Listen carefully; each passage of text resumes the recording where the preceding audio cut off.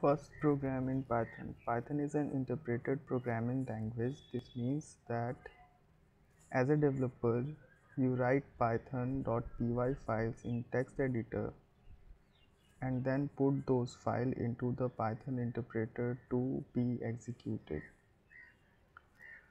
You can run Python with two ways. Python programs with two ways. First is from command line and second is from file first we are going to see how to run from command line and then we will see how to run from file. So first open command prompt by pressing window plus r and type cmd here use python. Python command to enter to the python. Now here you can write your python code. For example i'm going to print hello world.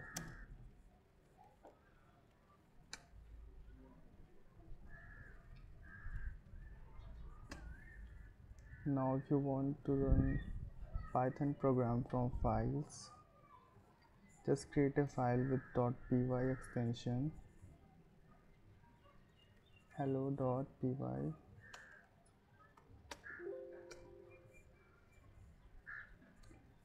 write your code in this file.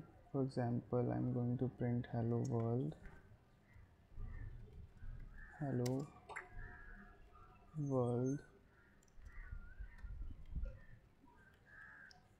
Now run this file from command prompt. Open command prompt at the same location. Uh, here type python.